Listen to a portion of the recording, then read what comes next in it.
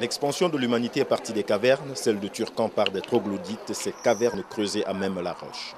Ce petit village de 550 habitants vient de recevoir le prix Eden, destination européenne d'excellence pour son village des métiers d'art en troglodytes. Le projet a été porté par Cédric Sagorin. C'est un, site qui fait partie du projet de village métiers d'art de Turcan, euh, qui est un projet quasiment de 10 ans, qui a consisté en la réhabilitation du site troglodytique que vous avez ici à Turcan, l'aménagement par des ateliers euh, métiers d'art avec des professionnels métiers d'art et puis euh, donc le paysagement de tout ce coteau qui est absolument magnifique entre Saumur et, Montsoureau.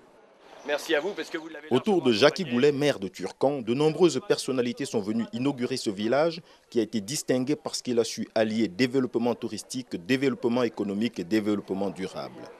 Pour Turcan, ça amène un vrai développement économique. C'est d'abord ces 35 emplois. Deuxièmement, c'est une restauration euh, du patrimoine. Troisièmement, c'est 15 entreprises qui sont installées. Et c'est l'occasion, entre le château de Saumur et la ville euh, hautement touristique et l'abbaye de Fontevraud, cette abbaye qui est extraordinaire, peut-être la plus belle abbaye euh, d'Europe, à mes yeux tout au moins, ça permet d'avoir un trait d'union qui permet d'avoir cette visite troglodytique qui est strictement fabuleuse et qui fait rêver. et on sait ô combien un trait d'union c'est important dans certains mots ou dans certaines phrases. Situé entre Saumur, Montsoro et Fontevraud, trois grands pôles touristiques, avec son village des métiers d'art, Turcan entend être un nouvel Éden touristique.